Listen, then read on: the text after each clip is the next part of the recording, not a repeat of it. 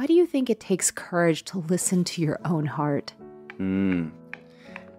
Yeah, I mean, I think just fundamentally it, it's like hard, especially like when you're growing up to really like kind of grow into your own.